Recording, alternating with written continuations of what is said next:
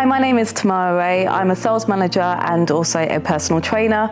My business is Faithwell Fit, and the main aim of Faithwell Fit is to encourage people on their fitness journey as well as their wellness journey and empower them through faith. The biggest challenge that I faced is I'm a person, I've got a lot of ideas. God has really blessed me in that way where I have a big mindset in terms of my thoughts. Sometimes it's really difficult to have that big idea and then to go backwards from there. I almost felt overwhelmed by my creativity at times, but the incubator has really helped me to work at my business step by step and also empowering my mindset so that I have more of an abundance mindset as well because I think I had a very kind of closed-minded view of what I could do through God and it's really just challenged that and pushed it even further so it's just changed my mindset completely.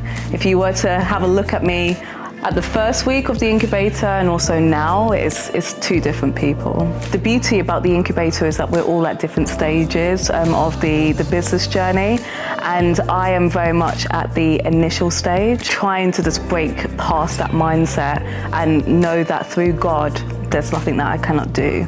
If this is part of my ministry, He is going to ordain it. He is the CEO of my business. Being around like-minded individuals that are some of them running successful businesses already and it's taken it to that next step has just really helped to support me with what I know is now possible. I've been able to connect with like-minded people as well as entrepreneurs and people that have already paved the way within Audacious Church and, and listening to their stories and how they've come to be in business owners themselves. So it's really helped to broaden my network and make me feel more at home at Audacious where I'm rooted now. It's helped me scale up because not only has it helped my mindset, it's also helped me to really expand on my initial idea. It's also helped me within my faith as well, where I'm having deeper conversations with God about my business, whereas before I saw business and my faith as two different things. Now I have a deeper relationship with God and He's actually given me more ideas and more wisdom. What I will say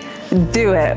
Do it. I know that it sounds scary and it may be a scary concept, but you've got nothing to lose. It's a supportive network. We love you guys, and we know that through God, there's nothing that you cannot do. Myles Munroe said that the most richest place on the earth is not on earth, well, it is on earth, but it's the grave because there's so many ideas, so many concepts that died with that person because they didn't take that step of faith. And I encourage you to take that step today.